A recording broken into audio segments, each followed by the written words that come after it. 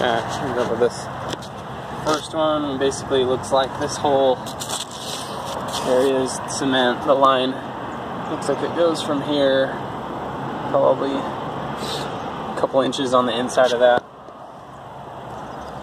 The back one looks like it is just dirt.